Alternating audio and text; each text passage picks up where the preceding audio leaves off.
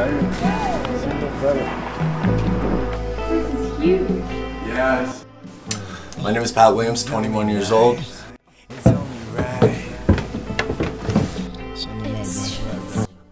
I rep Grey Sky Music, come from Toronto, specifically more or less Parkdale, most of my life anyway.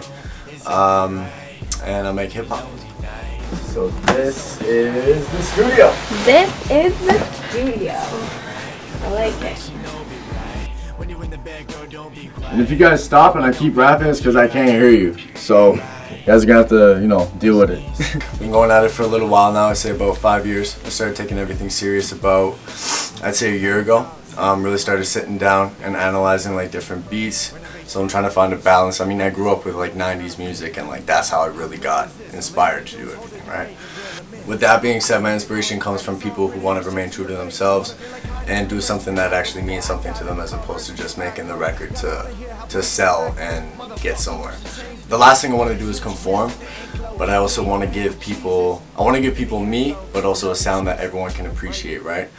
People have doubted us, like there's, there's no doubt about that, you know what I mean? Like, but you're gonna get that everywhere you go. I mean, like, I put the video out, what was that, last week? And then I get that, what was that guy saying, foo foo lame? The haters, you know, they, they That's- see you making moves, you know, they start, you know, popping up, trying to steal your shine. Yeah. So That's what it is. I didn't even have dude on Facebook and this guy's Yeah, shouting me. that's what I'm saying, bro. My main goal isn't necessarily to get somewhere. I consider that a bonus. But I want to be able to spark that one person that is feeling exactly how I do. I want to say that one line that makes that guy go like, shit, that's exactly how I feel right now, right? Pat Williams, a new cold classic. Pull a trick out the hat, that's what you call magic. You talk this shit, you talk that shit. This the truth, Paul Pierce shit flow. You talk jazzy.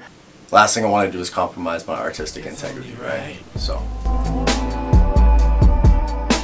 I just need something to get my mind right, mind right, mind tape I'm working on is Candy for Grown-Ups. That's what it's called.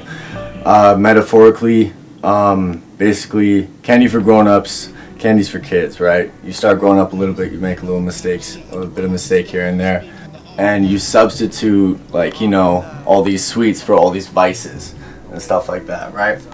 So I'm just trying to touch my generation more or less. Our generation, you know, it's they're we're like kind of confused right now. So I want to give someone insight as to what we're really doing and how we can fix that. I don't want to preach, but I want to be able to tell people like this is how it is. This is how I feel about it. If you feel that way, then it's exactly what I'm here for.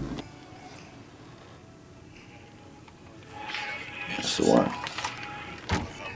That's the tape. Cut that. We got ourselves a single, ladies and gentlemen.